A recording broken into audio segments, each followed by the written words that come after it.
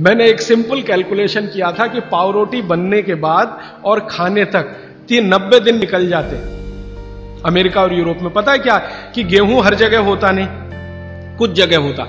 तो गेहूँ बड़े बड़े ट्रक में भर के वहाँ तक जाता है, जहाँ गेहूँ को पीसने वाली चक्कियाँ लगी हुई हैं, फ्लोर मिल्स।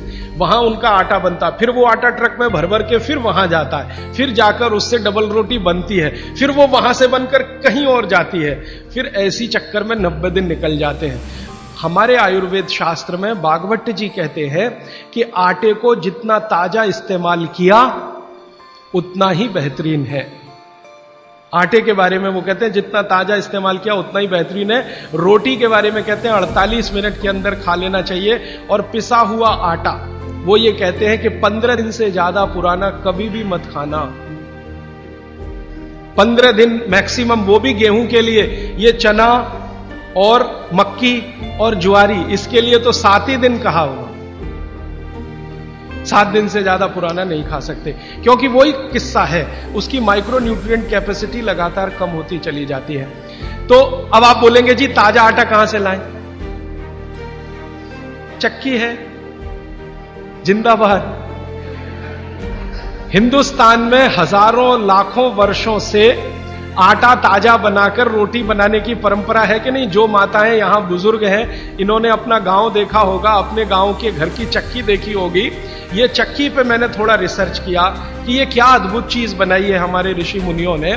ये दुनिया की ऐसी अद्भुत मशीन है जो आपको ताज़ा आटा तो देती ही है, आपके शरीर की स्वास्थ्य के लिए। और आपके अंदर की मांसपेशियों को हमेशा फ्लेक्सिबल रखती है। और हमारे घरों में ये जो चक्की चलाने का काम माताएँ करती रही हैं, मैंने इन माताओं पर एक छोटा सा रिसर्च अभी पिछले साल पूरा किया। मेरे एक दोस्त हैं, आयुर्वेद के चिकित्सक हैं, उनके साथ मिलकर। वो गाँव में रहते हैं। तो मैंने कहा, आप गाँव की कुछ महिलाओं पर अध्ययन करिए कि जो चक्की चलाती हैं, इनके बारे में जरा पता करिए। और जो चक्की नहीं चलाती, पिसा हुआ आटा लाती हैं। तो उन्होंने कहा, जो चक्की चलाने वाली माताएँ हैं, उनके गाँव में नब्बे माताएँ हैं। किसी को भी सिजेरियन डिलीवरी नहीं हुई है. चक्की चलाने वाली माताओं के पैरों में दर्द नहीं है। चक्की चलाने वाली माताओं को कभी भी कंधा नहीं दुख रहा गर्दन नहीं दुख रही नींद अच्छी आ रही है डायबिटीज़ नहीं है हाइपर टेंशन नहीं है ब्लड प्रेशर नहीं बढ़ा है 48-50 बीमारियाँ नहीं है। और जो माताएँ पिसा हुआ आटा ला रही हैं, कैप्टन कुक आईटीसी का, उनके घरों में डायबिटीज़ भी है अर्थराइटिस भी है हाइपरटेंशन भी है, ये भी है वो। तो मैंने वो वैद्य जी को कहा कि आप क्या मानते हैं ये जो चक्की चलाने वाली माता है ये ऐसा क्या विशेष काम कर रही हैं? तो उन्होंने मुझे समझाया, वो मेरे भी समझ में आया, आपको भी समझ। हम जब चक्की चलाते हैं तो एक दिन चला के देखिए तो आपको समझ में आया सबसे ज़्यादा दबाव पेट पे पड़ता है। हाथ पे इतना नहीं है, पेट पे दबाव है। और माँ के पेट में एक एक्स्ट्रा ऑर्गन है जो पिता के पेट में नहीं है, जिसको गर्भाशय कहते हैं। ये गर्भाशय आपके पेट के बिल्कुल बीचों बीच हिस्से में। चक्की चलाते समय सबसे ज़्यादा ज़ोर वहीं है।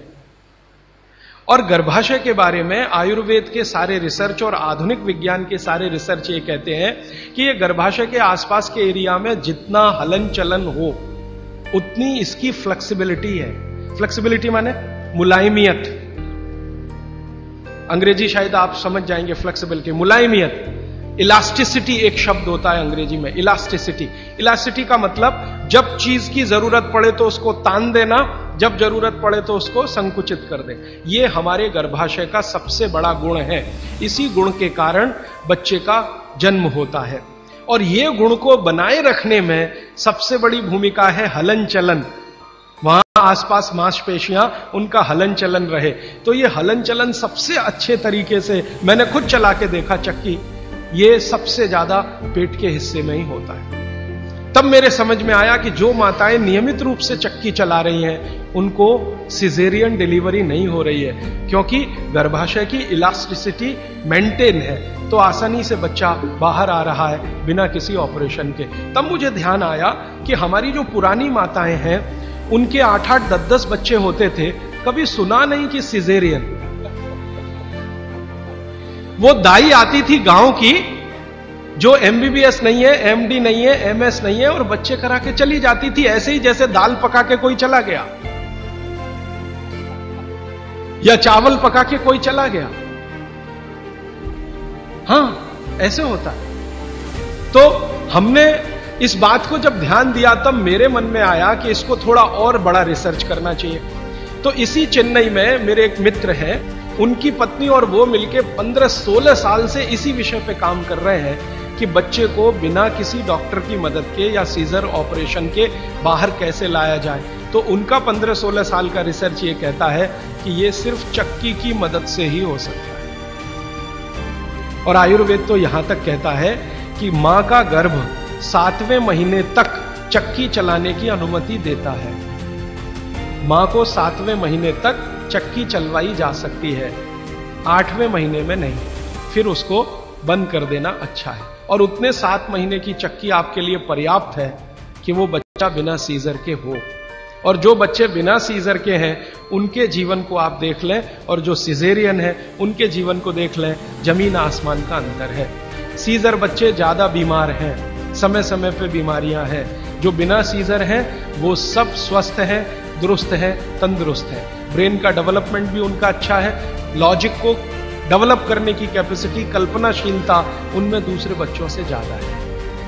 तो भागवत जी का सूत्र है कि खाना बना तो 48 मिनट में खाएँ और खाना बनाने वाली जो वस्तुएँ हैं, जिनमें सबसे महत्वपूर्ण है आटा।